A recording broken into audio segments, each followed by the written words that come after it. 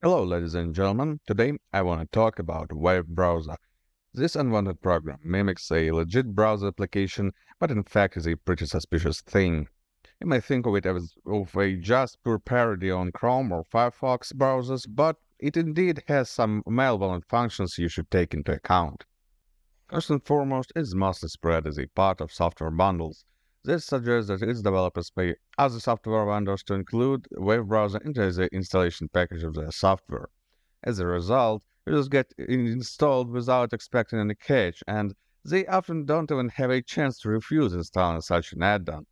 Wave Browser has an official website, which is designed to look legitimately, but I doubt any significant share of its users got it there.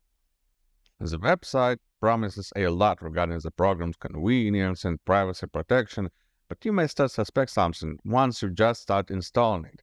Though, as I have just said, you will not likely to download it from the official site.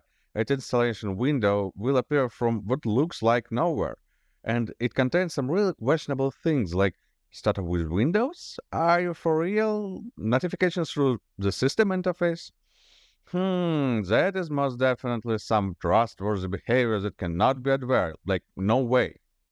But not only its credentials and spreading ways are suspect, the analysis of this browser's behavior shows that, well, the privacy promises present on the website are not true to say the least. This browser has a very reckless model of autofill form storage. They are not protected in any way. There are no HTTP filters and built-in certificate checkups like ones you can expect in normal browsers.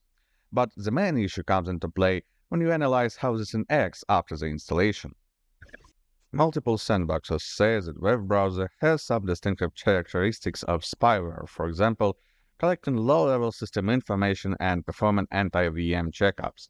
Other actions of the same kind include what looks like the detection evasion attempt, because the program copies itself, drops random DLLs, and removes previous versions, which is a pretty typical action of a threat that tries to confuse antivirus programs.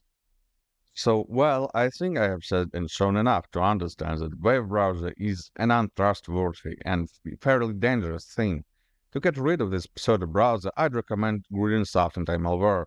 Check out the description for the downloading link it will not only delete the Wave Browser and all of its files, but will also revert the changes it did to your system. Standard scan will do it.